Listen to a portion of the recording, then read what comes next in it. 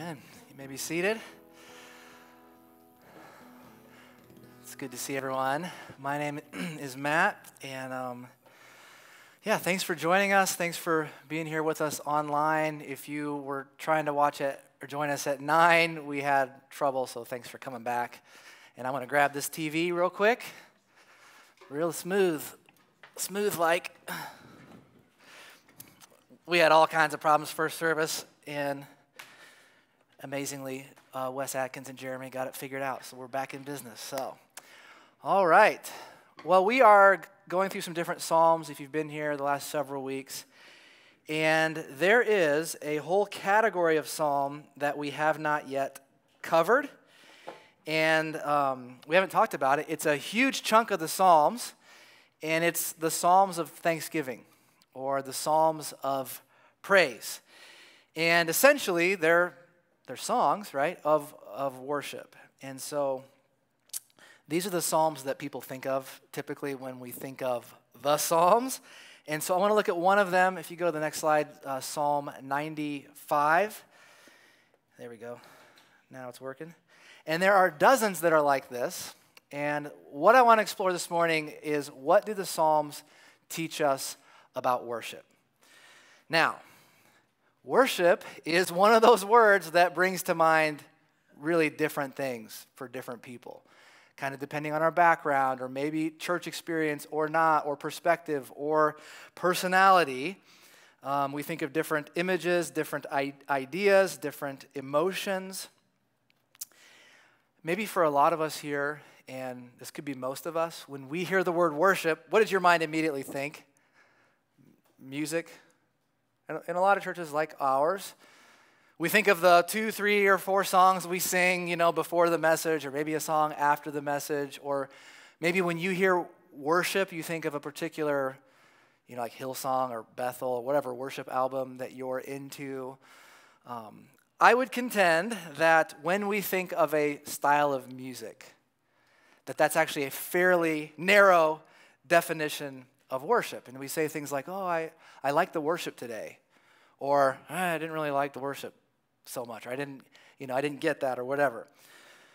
So I want to begin with this confession. Um, I get a little bit nervous whenever people up front talk about worship because I think, all right, let's get to the part where you tell me I'm not doing it right, or I'm not doing what you apparently what you want to see me doing. Um, so I have some baggage. That's what I'm saying. So I'm not going to do that, but I do hope to challenge us. I do hope to, from this psalm, maybe broaden or deepen our picture of what worship even is, and um, to do so in a way that I hope is encouraging. Now, here is kind of part of where I'm coming from. This will be helpful context, I think. If we just kind of take a step back, if you think about Christians, all around the world right now, here's, here's one observation. Uh, roughly one half of them, or 1.2 billion, are Roman Catholic. And their worship looks nothing, virtually, like ours. In fact, unless you've grown up Catholic, you might not even know what is going on. And one of my questions is without subs, how do you feel God's presence? Huh? Okay, too, too far.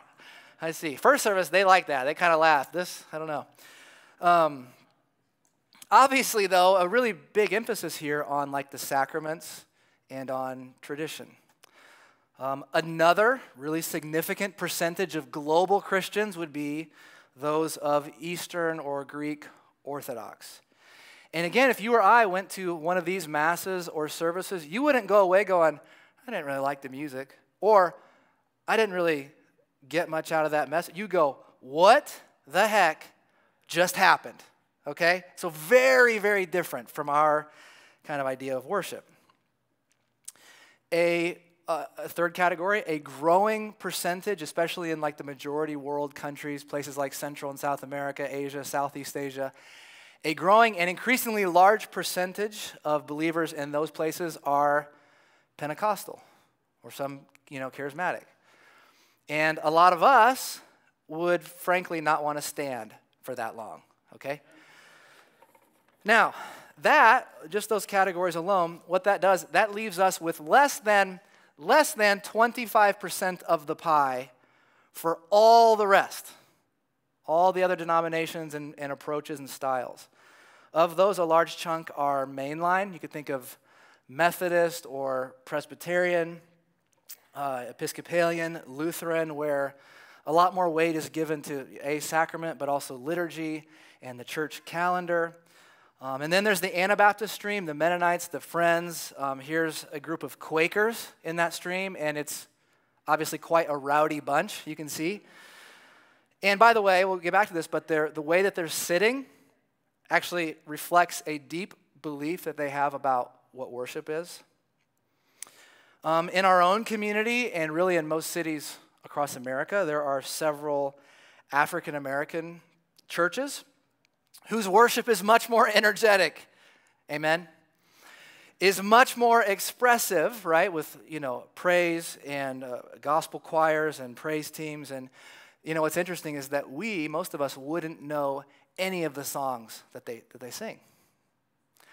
Um, and we'd find it to be way too long.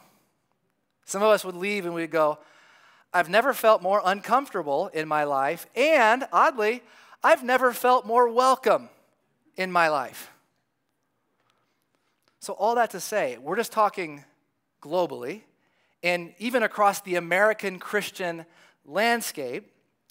Uh, when we come, when we think of this kind of modern, contemporary worship, right, where you come in hour, hour and 15 minutes, it's punctual but casual. Uh, where low on liturgy, it's two part service, singing and sermon, you know, the, the, you know, right? Um, what I'm trying to say is that that is a much smaller piece of the whole than what we might think. Again, we're just talking globally. This is not for the faint of heart, but if you dare to think about this, you know what I do though with this? I go, well, obviously everyone else has it wrong. That's where mine go, my mind goes. Okay. If you were to actually think about this historically and not just right now around the world, if you were to factor in, I don't know, the last 2,000 years of church history and what worship has looked like through the centuries, like on a timeline, guess where we are? Well, we're at this end, right? And we're just like a little tiny, tiny dot. Let me put this line up. I don't know if you can see this. Can you see that line? That represents the, roughly the 1970s, okay, with the, the birth of like the Jesus movement, where um, things got more casual, right? And that was coming out of the 1960s, so it was a reaction like to a broader countercultural movement. And you have the Jesus movement, you have the charismatic stream where worship becomes a little more informal.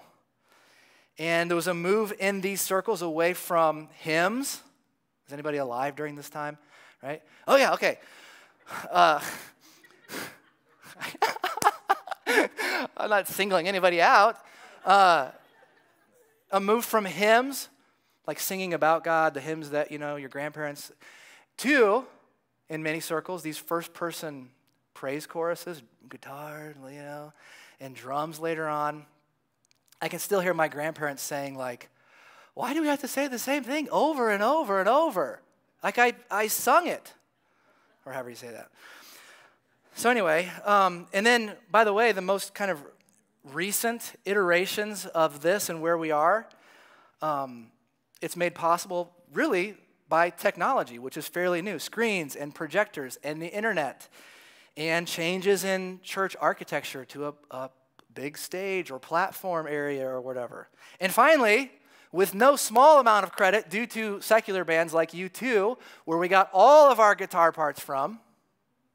Cliff, I, I told Cliff explicitly he's exempt from that particular indictment.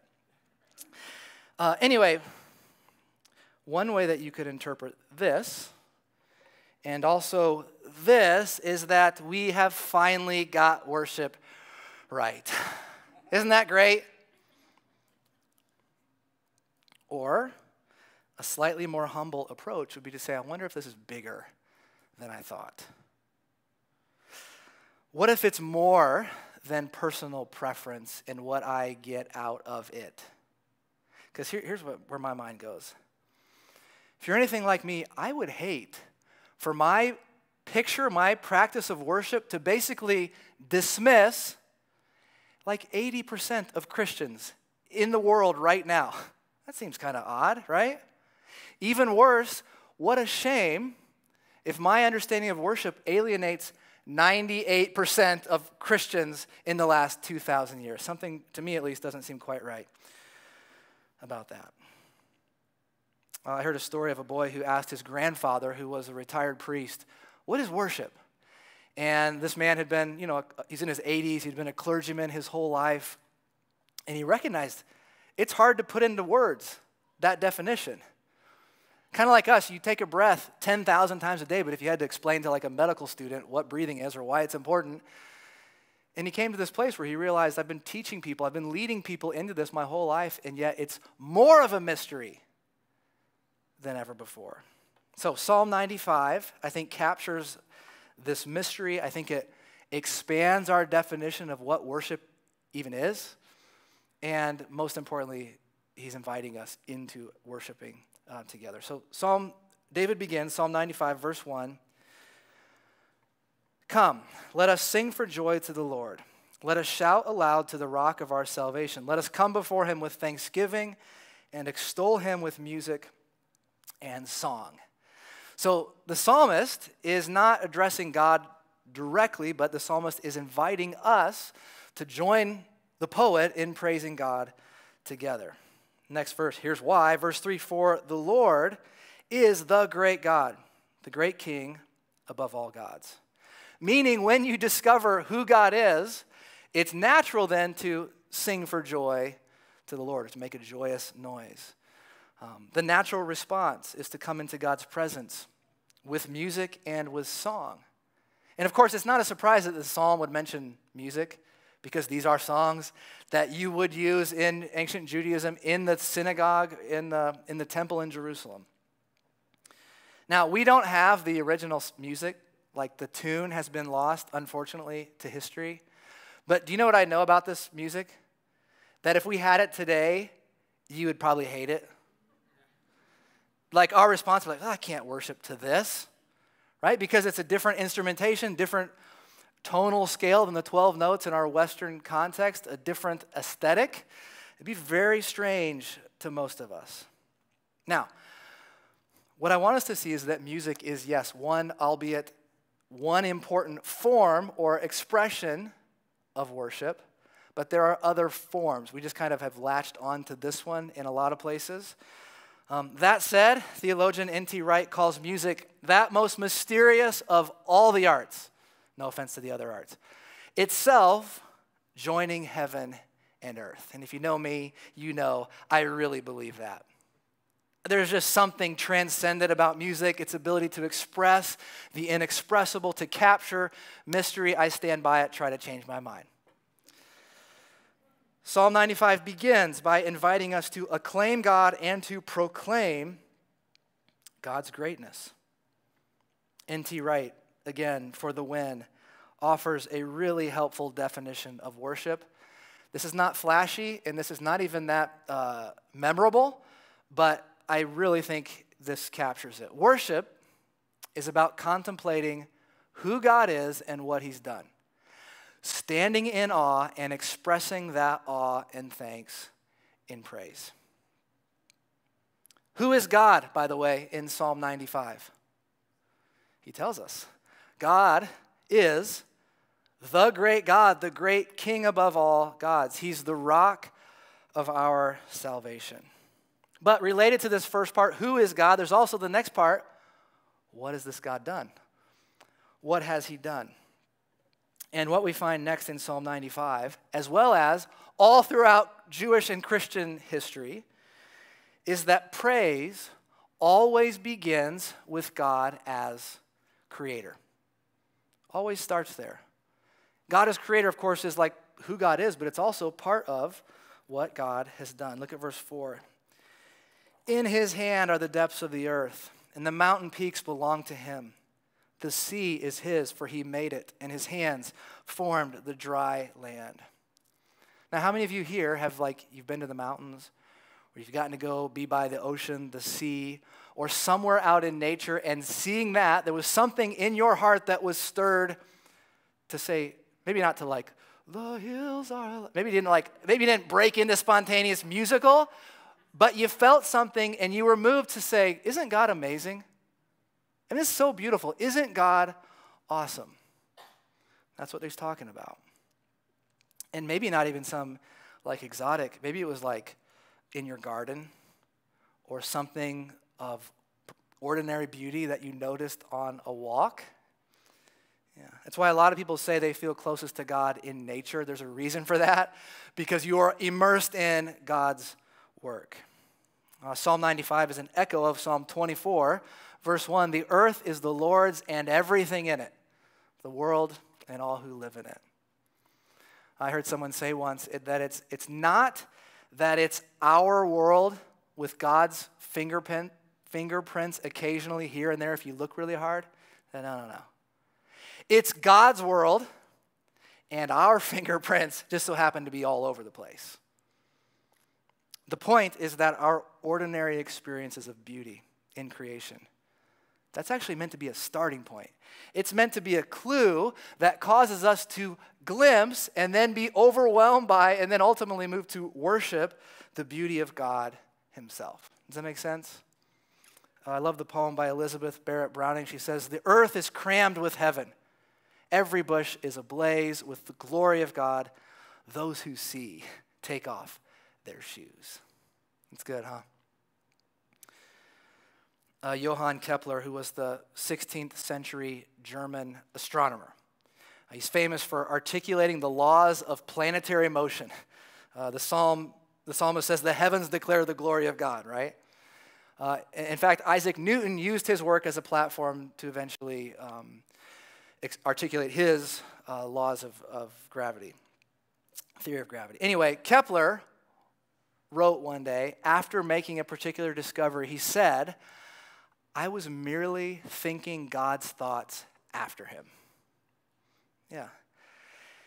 This means that every step in scientific discovery is supposed to add to this chorus of praise. Instead of what often happens is to be used as like, oh, see why that's why God doesn't exist or whatever. The natural world around us, which science investigates and represents, actually has this capacity to point to the glory of God who created it. I mean, the psalmist is insisting that unspoken truth is everywhere, spoken everywhere, that God's presence permeates the world around us. Now, did you know that that in and of itself would be enough to call us to worship? This by itself should be enough to make us go, Wow, God is amazing. Thank you. We praise him as Lord and Creator. But David gives us another reason. In verse 6, he says, Come, let us bow down and worship. Let us kneel before the Lord our Maker. For he is our God, and we are the people of his pasture, the flock under his care as always in Scripture. Contemplating God as creator leads us to this moment of awe where we recognize this God isn't just God or the God. This is what?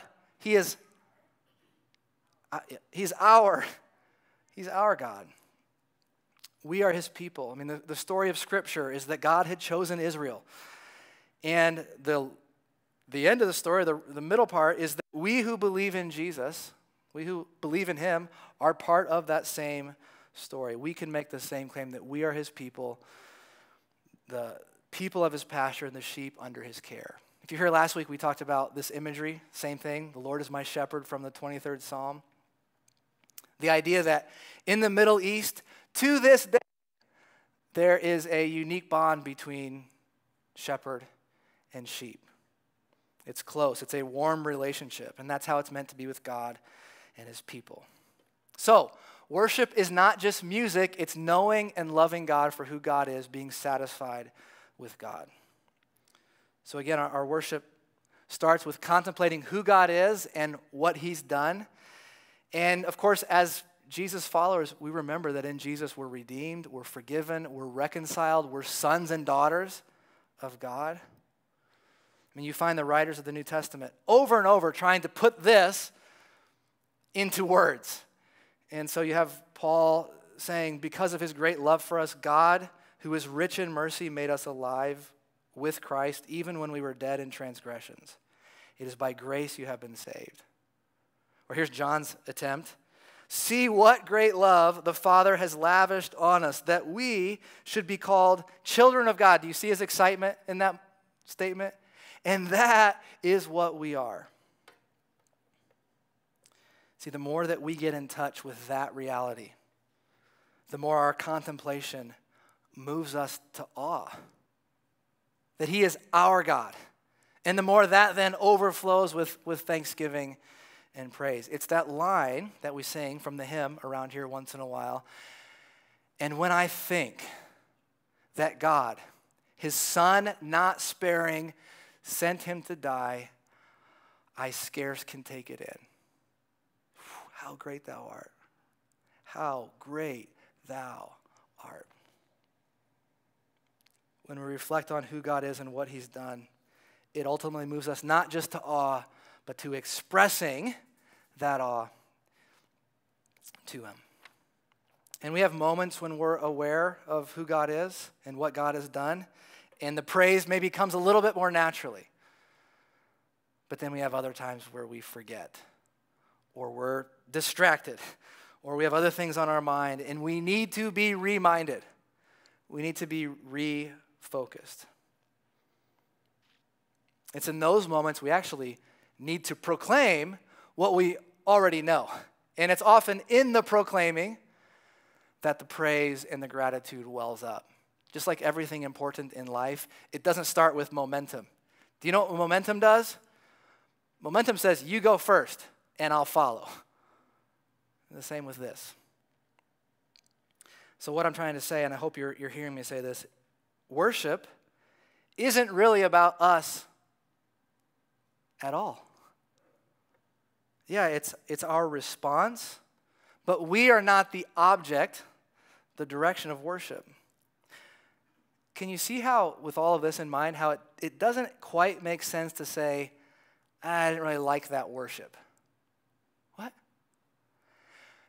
We have preferences. We might not have liked the music or the presentation or whatever, the sermon, right? But to say, I, it's not for me to begin with. If the point is who God is and what God has done, and that that deserves a response on my part, it's not really what I feel. By the way, you know who understands this? Nature. The psalmist says, The trees clap their hands in praise, the mountains sing for joy.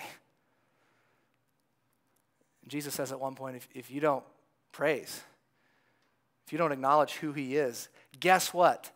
The rocks will cry out on your behalf. And that's not just like a, oh, that's neat. That's like a, you weren't doing, I wasn't doing my job. It's an indictment.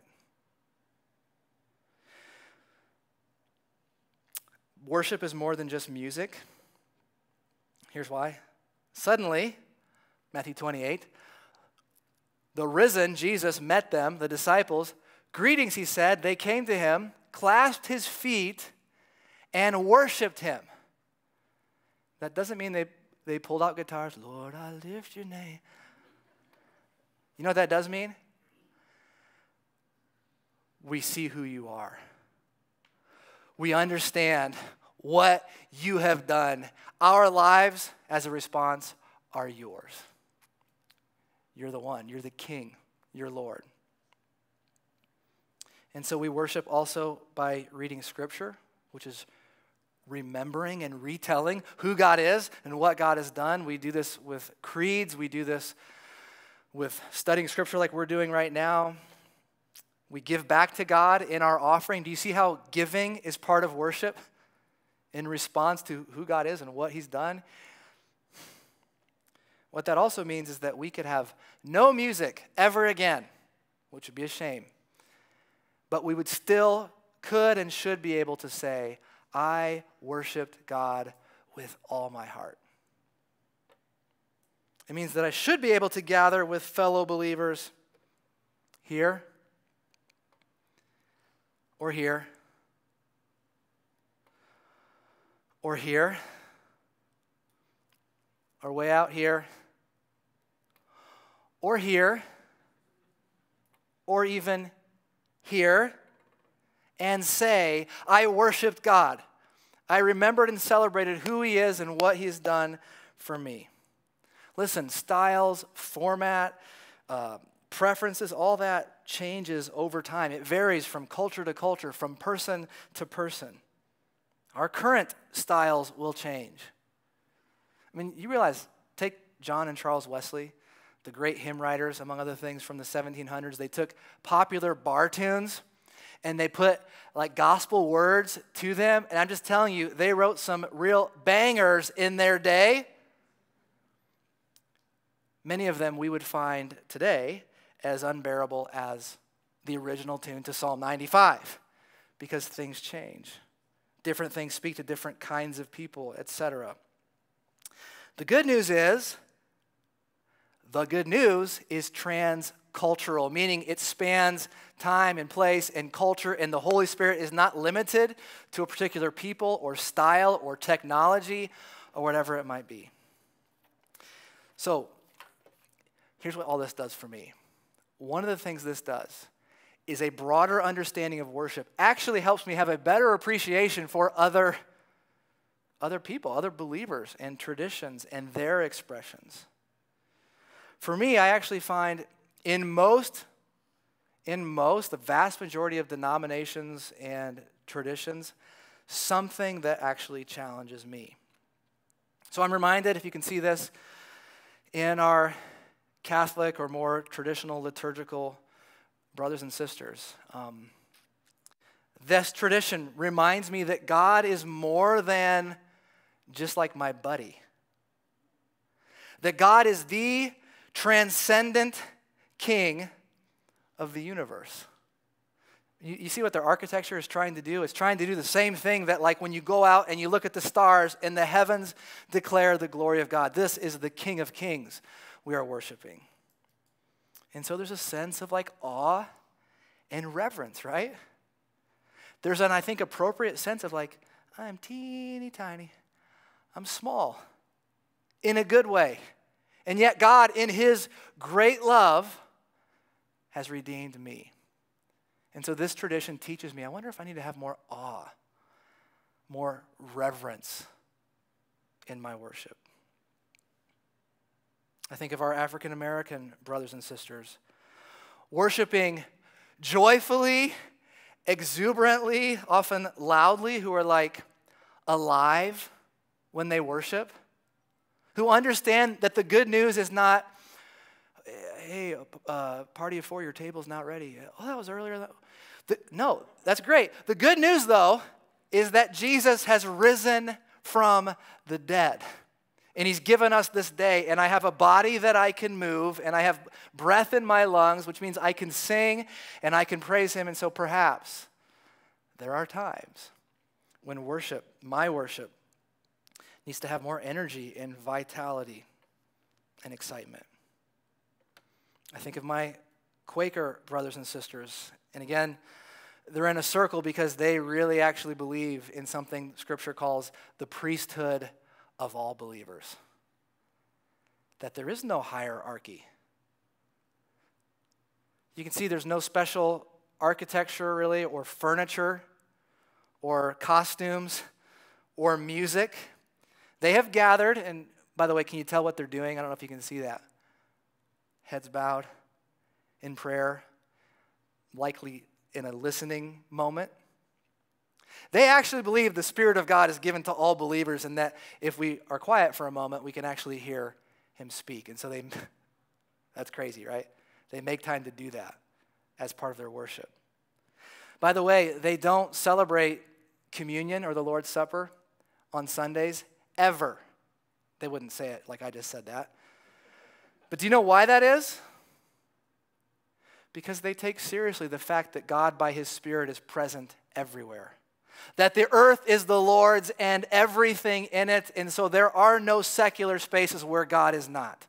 Which means when you, as a believer, sit down and we enjoy a meal together at the table, we break bread, we are celebrating what? Communion. So, why would we do at one point what we're supposed to be doing all the time? And so I take from them maybe I need to be reminded that my worship goes beyond an hour and 15 minutes or an hour on Sunday, right? And maybe I need to make time to listen as well. So I guess here's the question for you guys which one's the right way to do it? Right? Yes. By the way, if we had all day, I could do this with every major tradition or stream. But you get the point. All of these can be ways of worshiping because we serve a really big God. And He invites us to worship Him in ways that are as varied and diverse as humanity. So, bring Him your music. Bring Him your shouts of praise and your awed silence. Bring him your dances and your chants and your creeds. Bring him your guitar driven anthems and your Bach cantatas. Bring him your smoke and your incense, and bring him your worship online in your sweatpants. Bring him your well thought out liturgies, and bring him your tongues of fire. Let everything that has breath praise the Lord. And if you don't, the rocks will cry out on your behalf, as in, that should have been, that could have been you. And lastly, we know that God actually responds to our worship. Psalm 22 says that God inhabits the praise of his people. That he responds, he reveals himself in his presence, his strengthening, his encouraging. C.S. Lewis says it's in the process of being worshiped that God communicates his presence to men. Because he is our God and we are his people. Amen?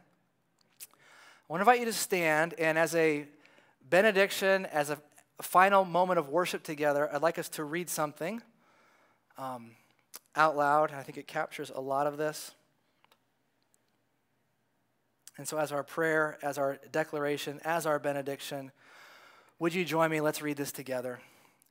Let everything that has life, let everything that has breath, give all the glory and honor and praise to the one who overcame death let every living thing sing of the mercies of our God. Let us exalt him wherever we live with thanksgiving and joy in our hearts. If we don't praise him, the mountains will. If we don't exalt him, the rocks will cry out in our stead, God is not dead. Let every living thing sing of the mercies of our God. Let us exalt him wherever we live with thanksgiving and joy in our hearts. Amen. Go in a spirit of worship. Have a great week, and we'll see you next time.